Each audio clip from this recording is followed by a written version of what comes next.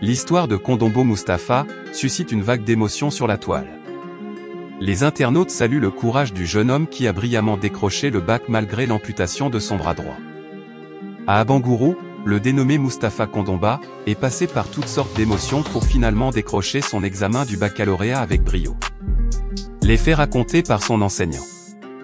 Selon un enseignant qui dit avoir eu Mustapha comme élève en classe de première C, le garçon s'est blessé grièvement au bras droit pendant les épreuves physiques du baccalauréat, durant le mois de mai 2022. Il a été victime d'une double fracture. Le proche affirme que l'élève n'a pu être soigné convenablement en se gardant d'en évoquer les raisons. Conséquence, le jeune Mustapha a dû être amputé de son membre, à quelques semaines des épreuves écrites. Nous étions très inquiets de ce que cet élève brillant voit ses chances d'admission au bac compromises. Ça a été la consternation chez nous tous et nous étions très inquiets de ce que cet élève brillant voit ses chances d'admission au bac compromises par cet handicap soudain, raconte l'interlocuteur. Dans ce laps de temps, Mustapha a fait preuve d'une bravoure incroyable, a-t-il expliqué, ajoutant que l'élève loin de se décourager, a commencé à s'exercer à l'écriture avec le bras gauche. Nous avions espéré une prothèse fonctionnelle pour lui. Hélas. À l'approche des examens, des démarches ont été entreprises pour lui faciliter la composition.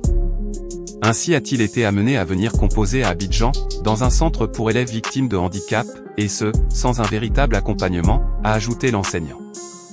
Grâce à sa persévérance, Kondomba Mustapha a décroché le bac C avec une note de 294 sur 400, synonyme de la mention très bien.